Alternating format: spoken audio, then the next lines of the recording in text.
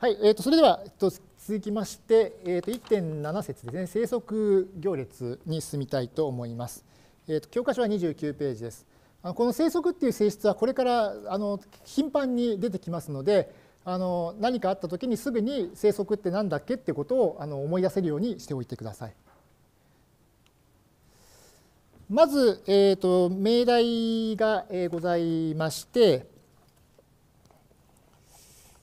えーとまあ、29ページのの図の文に書かれてるんですけれども、とまず A をあの、えーと、N 字の正方行列とします。N, N 字の正方行列とします。であと,、えーと、N 字の単位行列というのを EN と置いたときに、えー、と A の左から単位行列をかけても右から単位行列をかけても、まあ、A 変わらないですよっていう性質がまず一つあります。まあ、これはまあ考えてみれば当たり前かもしれませんけれども一応あの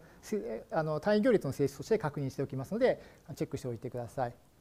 でそして、えー、と次ですね皆さんに覚えてもらいたいのは次の生息行列の定義です。えー、と A はこれ M、えー、と N 字の正方行列ですね。A は N 字の正方行列の時にある N 字の正方行列 B が存在して A×B と B×A がともにえ単位行列になるときですね、えー、と A は生息であるともしくは A を生息行列と言います。えー、と今これが生息行列の定義ですね。だから A に対して正方行列 A に対してある正方行列 B が存在して AB と BA がともに単位行列になりますよっていうときに A は生息であると言います。ですので A は生息ですって言ったら即座にあこういう行列があるんだなってことを思い浮かべてください。このこの行列が何であるかはとりあえずその場では知らなくてもまあいいと思います。でもう一つこういう性質を満たすですねあの B の行列 B のことを A の逆行列と言います。だからここではあの生息行列と逆行列っていう2つの概念が定義されていますので、まあ、これをよくあの覚えておきましょう。で、えー、とで次にですね、えー、ともう一つあのこの逆行列に関する命題があります。えー、と逆行列の一位性と呼ばれるものでして、えー、とこれはもし A が生息でしてね A が生息でしてで B とあの B' っていう2つの行列がともに A の逆行列であったとしたなら、えー、と B と B' は等しいですよとすなわち A の逆行列というのはただ一つだけ存在しますよというのがこの命題です。でえー、結局その A の逆行列というのは1個しかないですからこれはあの決まった記号で表すことができてあの A のインバースと言います。あのマイナス1乗と書いて、えー、とインバースと読むのが通常通例ですね。それで A の逆行列のことを A のインバースと言います。でこんなふうにその、えー、と逆行列のようにですねこの A に対して何らかの性質を満たすものがあの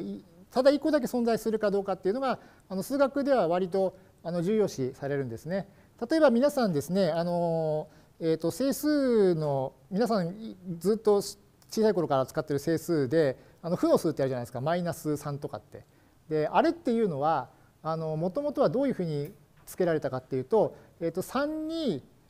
何かを加えて0になるような数なんですよね。でそれは整数の世界では例えば3に対して3に何かを足して0になるような数は1個しか存在しないわけですね。だからえーと、足し算の、まあ、逆弦っていうんですけれども足し算の逆弦は一一一線があるのでそこでそういう弦をマイナスって記号をつけてマイナス3と呼びましょうというふうにルールを作ったんですね。ですのであの皆さんそのマイナス3とかってあの当たり前のように使ってるけれどもあの数学の世界では案外当たり前ではないということをちょっとあのあの覚えておいてください。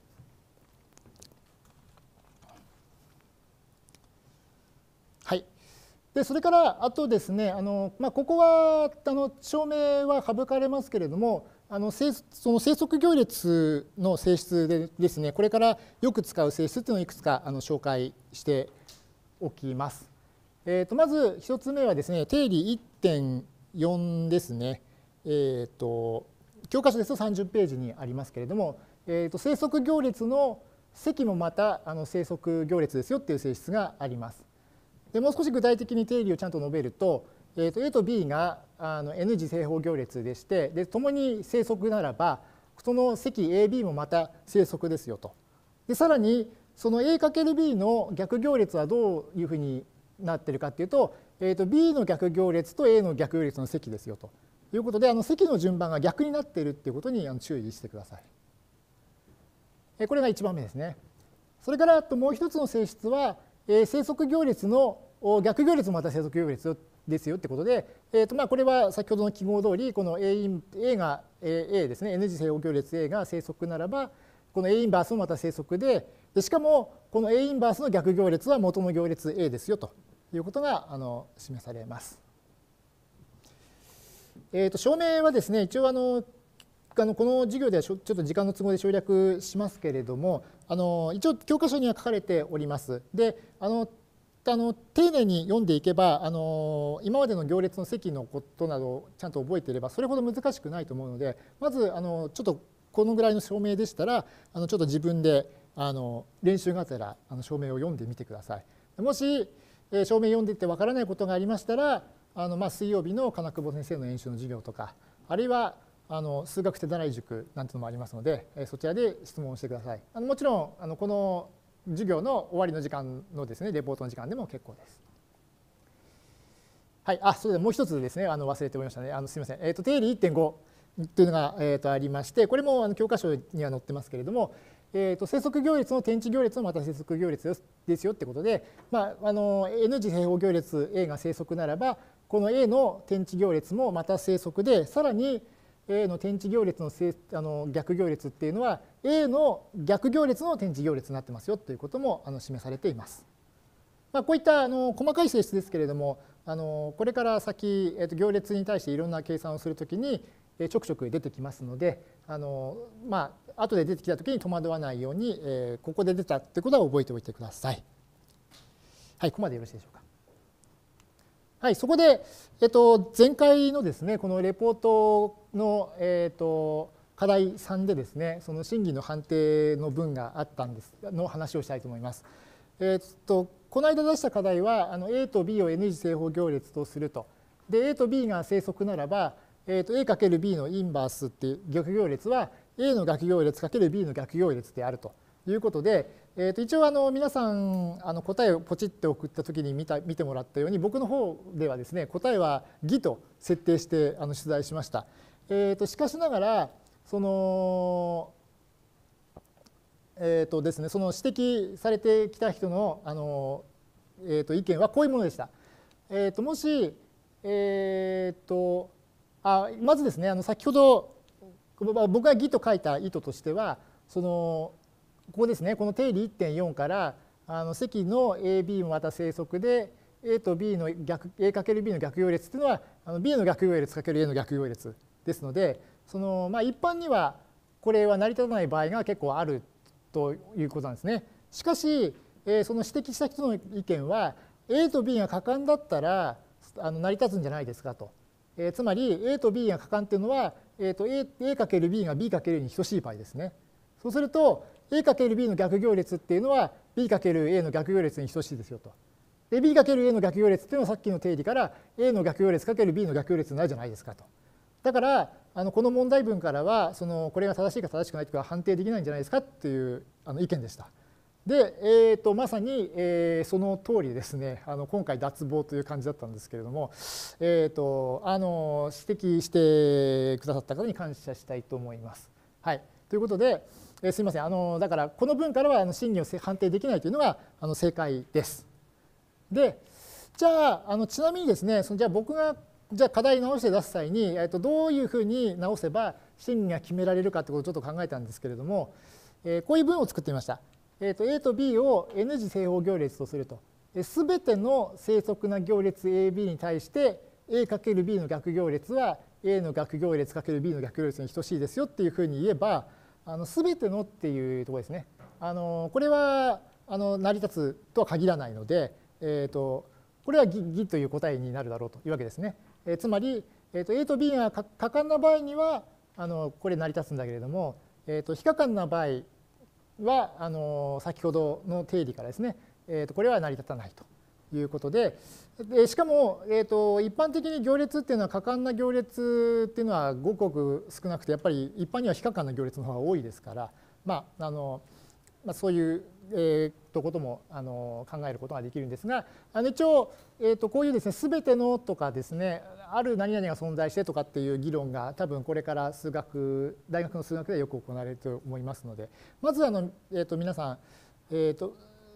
よくこういうことを考えてもらえるといいんじゃないかと思います。それからあとですねあのこの課題に関して、えー、と教訓としてあの僕が皆さんに申し上げたいのはあの大学の先生を信じてはいけないと。えーと、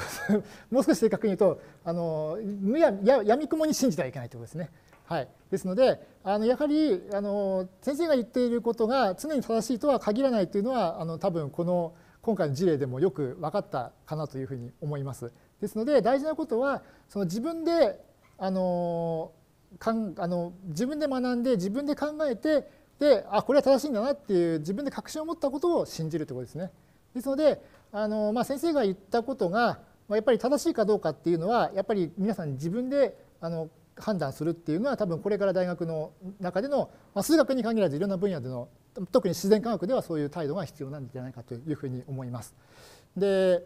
えーとまあ、あのこういう形で、えー、あのもし僕が間違ったことを言っていたら、まあ、指摘してもらえるとありがたいですしあとそうですねこれがだんだん大学院に行くとですねそのだんだん少なくとも数学の分野ではあの教員と学生というのは対等な立場になってくるんですね。で、えーと、その大学院生はその先生の知らないところを勉強してですねであの先生にその自分の調べることを教えるぐらいになります。そんで一応僕もですね自分の指導している大学院生にはですね「いや先生こんなことも知らないんですが」ぐらいに煽るぐらいでもいいっていうふうに言ってるんですけれども あのそうやってこうあのまず自分でこうどんどん知識を深めていく先生に教えるぐらいに知識を深めていくっていう態度がだんだんできてくるんじゃないかと思います。でさらにあの研究者になろうとする場合にはあのその分野その研究の分野で独り立ちする必要があるんですよね。ですのである意味こう師匠を超えていくえーと、だからあのいつまでもその先生が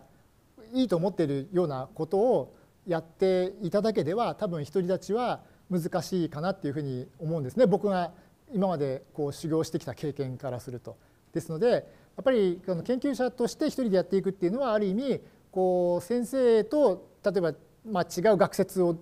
作るとかあるいは違う理論を作るとかあるいはもしかしたらその先生が気に入らないことをやらやら気に入らないと思われるようなことをやられなきゃないこともあるかもしれないけれどもそういう中でこう自分の寄って立つところを確立していくっていうのがある意味その研究者として独り立ちしていくものではないかなというふうに思います。まああの多分皆さんもですねその今教わっている各学理の先生方からそういう話を聞くかもしれませんけれどもあのこともあるかもしれませんけど、まあ、数学ではこういう事例もあるということでちょっとあの知っておいてください。はい、ということでここまで、えー、ちょっと長くなりましたがよろしいでしょうか？